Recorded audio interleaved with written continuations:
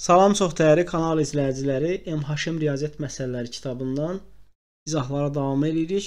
Mövzumuz qarışıq məsələlər. Keçən dərs, keçən video izahda çalışma 11-ə kimi izahını vermişdik. Növbəti çalışma 12-dir. 12-də nə yazır? Yazır ki, ata oğluna 50 sual verdi. Cavabsız qalan suallarda səhv, cavabsız qalan sualları da səhv sayan ata oğluna düzgün suallara görə 1 manat verir. Səhv cavaba görə isə 50 qəpik alır. Oğlun qazancı 23 manat olubsa, o isə suala düzgün cavab vermişdir. 1 manat verir düzgün suala görə, səhv alan ə, cavab verəndə bundan 50 qəpiyin alır. Və cəmi 50 sual verib ki, və bu 50 sual içərisində düzgün sualların sayı çox olub ki, deməli bu 23 manat qazanmışdır. Ona görə də düzgün və səhv suallara ayırmış olsaq, və səhv suallara ayırmış olsaq, düzgün sualları x olaraq götürsək, səhv sualları isə y olaraq götürmüş olsaq, hər düzgün suala görə 1 manat, yəni qəpik olduğuna görə 100 qəpik qazanır. Səhv suallara görə isə 50 qəpik çıxılır. Nə qədər e, düzgün sual verib x dənə. Hər düzgün sual üçün 100 qəpik qazanıb və neçə səhv sual var? Y dənə hərəsindən də hər e, sual üçün də 50 qəpik e, çıxılıb. Düzgün və səhv sualların ümumi sayı 50-yə bərabərdir. Yəni x üstəgəl y bərabərdir 50 etmiş olacaq. Düzgün suallara görə x dənədir. 100-ə vurduqda 100x qazanmış olacaq. Bundan Səhv suallara görə y 50-yə vursaq 50y çıxılacaq və qazancı qalacaq 23 manat. Bunu da qəpiyə çevirsək, çünki qəpi ilə hesablamışıq, 2300 eləyəcək. Sistem tənlik aldı, yəni 2 dəyişənli tənlikdir.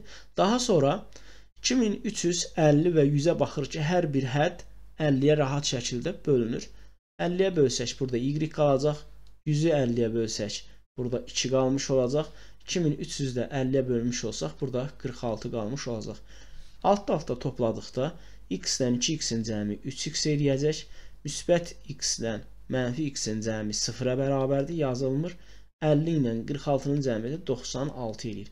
x də bərabərdir 32 eləyəcək ki, e, düzgün cavabların cəmi 32-yə bərabərdir.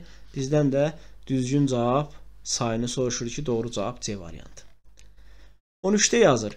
3 bacı pul qoyub kitab aldı və onların pulları qalmadı. Kitab almaq üçün böyük bacının 1 manatı, ortancıl bacının 3 manatı, kiçik bacının 4 manatı çatmırdı. Kitab neçəyədir? Neçə bacıdır? 3 bacıdır. Böyük bacı, ortancıl bacı və kiçik bacı olaraq yazmış olsaq. Deyir ki, kitab almaq üçün böyük bacının 1 manatı çatmırdı. Kitab neçəyə idi ki, onun 1 manatı çatmırdı? Yəni kitabın pulundan 1 manat çıxsaq, böyük bacının pulunu tapa bilərik. Ona görə də bilmədiyimizə görə kitabın pulunu x götürür. Bundan 1 manat çıxsaq, böyük bacı. Daha sonra deyir ki, ortancıl bacının 3 manatı çatmır. Deməli x kitabın puludursa, bundan 3 manat çıxsaq, ortancıl bacı bacının pulu olacaq. Kiçik bacının 4 manatı çatmırdı. Kitabın pulundan 4 manat çıxsaq, kiçik bacının pulunu hesablamış olarıq. Cəm bunların qoyduqları pullar, e, yəni pulların cəmi kitabın puluna bərabərdir, yəni x-ə bərabərdir. Burdan da hesablasaq, bacıların pulu olacaq 3x, yəni x-lərin cəmi 3x. E, məlumlar çıxılsın 1, çıxılsın 3, çıxılsın 4, çıxılsın e, 8 etmiş olacaq. Bu da bərabərdir. Yəni kitabın pulu 70 olur ki, x-dir. Burdan da 2x bərabərdir 8 olarsa x də bərabərdir 4. Deməli kitab 4 manatadır doğru cavab B variantı. Bizdən bacıların pulunu soruşsaydı, onları da hesablaya bilərdik. Böyük bacının 3 manat, kiçik e, ortancıl bacının 1 manat, kiçik bacının isə heç ümumiyyətlə pulu olmayıb. 14-də yazır. Əgər şagird 11 dəftər alsaydı, onun 500 manat pulu qalardı. Şagird 15 dəftər alsaydı, onun 700 manat pulu çatmazdı. Şagirdin nə qədər pulu var idi? Şagirdin pulunu hesablamaq üçün dəftərin qiymətini bilməliyik. Deyək ki, bir şəxs gedir özünə bir şey alırsa və bizə gəlib deyirsə mənim hal-hazırda məsələn bir köynək aldım və mənim cibimdə 50 manat pul var. Mənim köynək almadan öncəki pulum nə qədər olub? Mənim kö biz o saat soruş köynəyi neçəyə aldın? Deyər ki, köynəyi aldım, məsələn deyək ki, 25 manata. Deyək ki, hə 25 manat köynəyə verib, üstə gəl 50 manatı cibində qalıb 75 manat pul olub. Amma biz dəftərin qiymətini bilmirik. Dəftərin qiymətini bilmədiyimizə görə pulu hesablayarkən dəftərin qiymətini x götürək. X isə 11 dəftər alıbsa, şagird 11x dəftərə verilən pul üstə gəl 500 də üstündə qalıb. Bu bir tərəfdən şagirdin pulu 11x üstə gəl 500 olacaq. Digər tərəfdən hesablasaq, deyir 15 dəftər alsa, onda 15x dəftərin pulu və bu 15x-ə 700 manat pulu çatmır. Yəni ki, çıxılsın 700-dür. 15 dəftərin pulundan 700 manat azdır. Hər iki halda biz şagirdin pulun hesabladığımıza görə üzrü sayın bərabərdir və e, bərabərlik varsa, məhsul varsa bu tənlikdir. Tənliyi həll edirik. 15x-dən 11x-i çıxsaq qalacaq 4x bərabərdir. 500-dən 700-ü toplayaraq eləyəcək 1200. X də bərabərdir 370 olacaq. Dəftərin qiymətini bizdən soruşmurdu. Biz sadəcə dəftərin qiymətini bilib şagirdin pulunu hesablaya bilərik. Bu elədir 300 və e, şagirdin pulunu hesablamaq istəyiriksə 11x üstə gəl 500-də 11 Dəftər alıb biri 300-dən eləyəcək 3300, o da 500 edir 3800 manat. Doğru cavab da D variantında verilib. 15-də yazır. Məktəbdə təmir məktəbdə təmir olunarkən 150 partanı rəyləmək lazım oldu. Bu işi rəngsazlardan biri 15 günə, digəri isə 30 günə yerinə yetirə bilər. Rəngsazlardan ikisi birlikdə bu işi neçə günə yerinə yetirər? Yəni bu iki rəngsaz birlikdə neçə günə yerinə yetirəcək? Biz hər birinin gücünü bilməliyik. Yəni ki, bir gün ərzində görə biləcəyi işi bilməliyik. Ona görə də birinci rəngsaz əgər ki 150 partanı 15 günə rəngləyirsə, bir günə 10 parta rəngləyəcək. İkinci rəngsaz bu işi yəni 150 e, partanı 30 günə rəngləyirsə, bir günə 5 parta rənglənmiş olacaq. İkisi birlikdə birlik yazaq. Biri 10 parta, digəri 5 parta, cəmi 15 parta rəngləyirlər. Və bu işi ikisi birlikdə neçə günə görəcəklər? 150 partadır. 150-ni bölsək 15-ə taparıq ki, 10 günə rənglənmiş olacaqlar.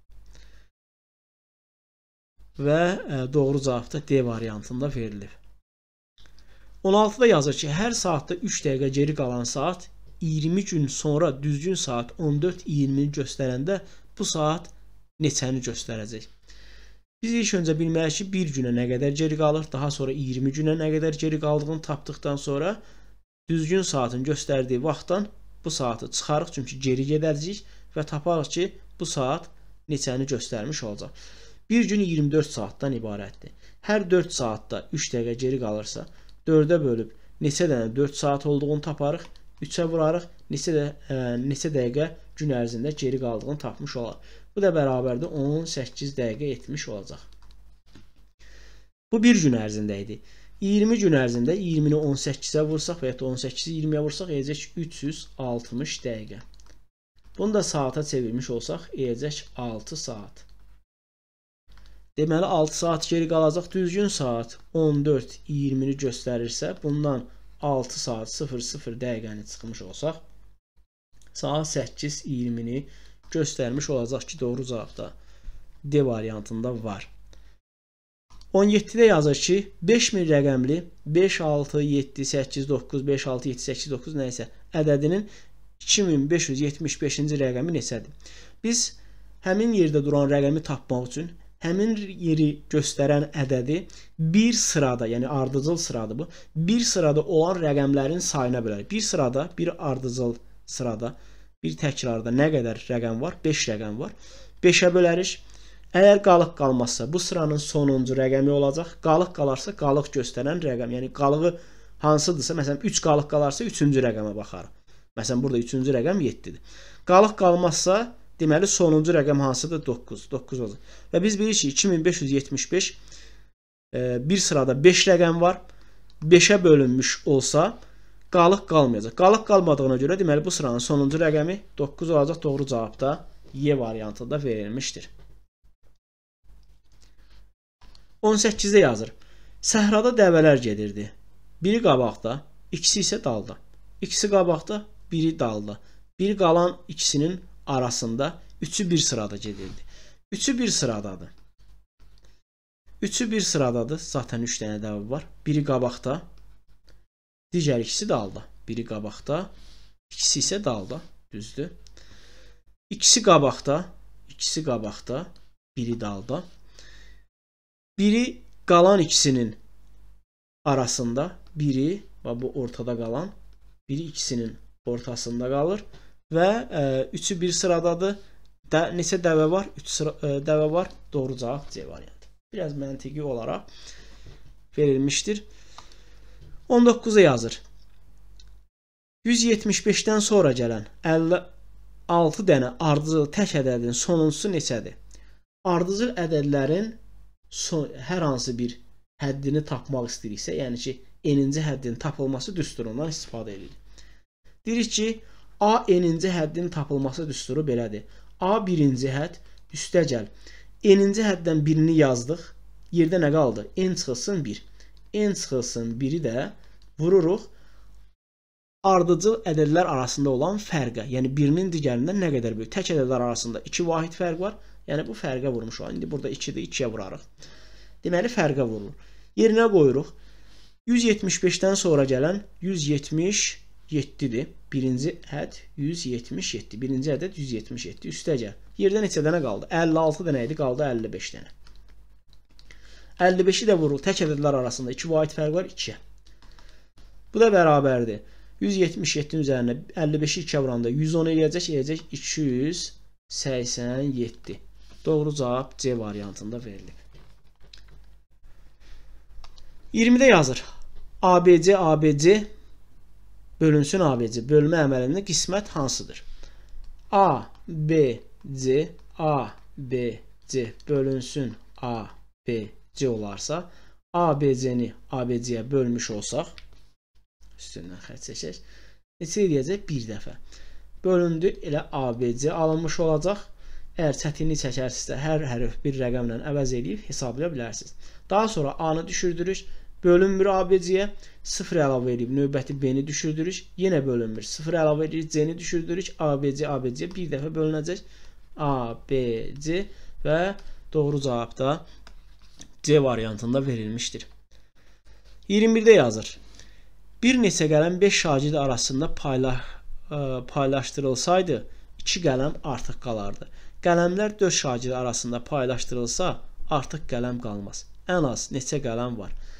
Deməli bu ədədi elə bir e, qələmlərin sayı elə bir ədəddir ki, 5-ə bölündükdə qalıqda 2 qalınmış olur. 5-ə bölündükdə qalıqda 2 alınan tək ədədlər ola bilər. Tək ədədlər, yəni bu həmin ədəd bu arada da 5-ə bölündükdə qalıqda 2 alınan ədəd 4-ə qalıqsız bölünür. Deməli bu ədəd cüt ədəddir. Cüt ədəddir və e, bu cüt ədəd, yəni ki 0-ın üzərinə yəni deyək ki 10-dan 2 vahid böyük olar, 22-dən 2 vahid böyük olar. Yəni tək ədəd deyil. Birincisi, yəni bilirik ki, cüt ədəd 10-dur ki, 5-ə bölünür. Bunun üzərinə 2 gəlsək, 12 70 olacaq. 12 də 4-ə qalıqsız bölünür. Yəni ən kiçiyi 12 olacaq. Deməli ən az neçə qələm var? Ən az 12 qələm var ki, doğru cavabda D variantında verilmişdir. Davam edirik. 22-yə baxırıq. 22-də yazır ki, balıqçı çaya qədər piyada getdi. Əks istiqamətdə isə velosipedlə qayıtdı və bütün yola 40 dəqiqə vaxt sərf etdi. Ertəsi gün o hər iki istiqamətdə velosipedlə getdi və bütün yolu 30 dəqiqə, bütün yola 30 dəqiqə vaxt sərf etdi. O hər iki istiqamətdə piyada getsəydi, bütün yola nə qədər vaxt sərf edərdi? İlk öncə bilirik ki, balıqçı piyada getdi. Piyada getdi. Nə qədər e, vaxt sərf edib bilmirik. Qaydanda isə velosipeddən qayıtdı. Velosipeddən qayıtdı. Cəmi 40 dəqiqə vaxt sərf etmiş oldu. Bunu bildik. Əla. Yəni ki, v, p üstəgəl v bərabərdir 40-a. Səhərsi gün neynədi? Velosipeddən getdi və velosipedlə də qayıtmış oldu və 30 dəqiqə sərf etmiş oldu. Bütün yola 30 dəqiqə yazıb burada. Deməli buradan da məlum oldu ki, v üstəgəl v bərabərdir 30. Onda 2v 30 olarsa v də bərabərdir 15 etmiş olacaq. Bizə indi lazımdır ki, səhərsi də piyada gedib və piyada qayıdıb nə qədər vaxt sərf etmiş olub, bunu tapmalıyıq. Biz az öncə bilirik ki, piyada gedib velosipedlə qayıdıbsa 40 dəqiqədir. Velosipedin 15 dəqiqə, yəni velosipedlə 15 dəqiqə qayıtdığını biliriksə, onda p nəyə bərabər olacaq? p bərabərdir 40-dan 15-i çıxarıq 25 etmiş olacaq. Çünki geri qayıdarkən 15 dəqiqə vaxt sərf edib, cəmi 40 dəqiqə idi, bundan 15-i çıxdı, piyada 25. Deməli gedəndə də piyada gedib, gələndə də piyada gəldiyinə görə bu da məlumdur.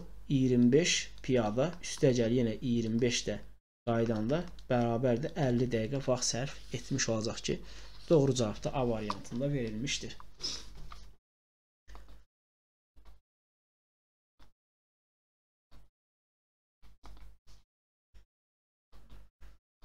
Davam eləyirik. Bu video izahda sonuncu ol olacaq. Əgər bura qədər izlədinizsə, bəyəndinizsə, davamını istəyirsinizsə, bəyən düyməsini basmağı unutmayın. 23-də yazır ki, hündür qayanın qarşısında dayanaraq qışqıran uşaq 3 saniyə sonra öz səsinin əks sədasını eşitdi. Səsin sürətinin 340 metr saniyə olduğunu bilərək uşaqla qaya arasındakı məsafəni tapın. Biz bilirik ki, Uşaq qayaya qədər ə, e, qaya tərəf qışqırarsa, səs qaya dəyib qayıtdıqdan sonra nə olur? Uşaq bu əks sədanı eşitmiş olur. Burdan da məlum olur ki, səsin getdiyi yolun yarısı uşaqla qaya arasındakı məsafədir. Yəni gedilən yolu 2-yə bölsək, uşaqla qaya arasındakı məsafəni tapmış olarıq. Bizdən də uşaqla qaya arasındakı məsafəni soruşur. Və biz nə edirik? 3 saniyə sonra səsini eşidir. E, səsin sürəti 340-dır. 340-ı vurarıq 3-ə. Yəni 340 metr saniyədir. Bu da eləyəcək neçə? E, 1020 etmiş olacaq. 1020 və 1020-ni 120 yazdım. 1020-ni bölsək 2-yə taparıq ki, uşaqla qaya arasındakı məsafə 510 metrə bərabərdir ki, doğru cavab da C variantında verilib. Bu qədər növbəti video izahda görüşənə qədər.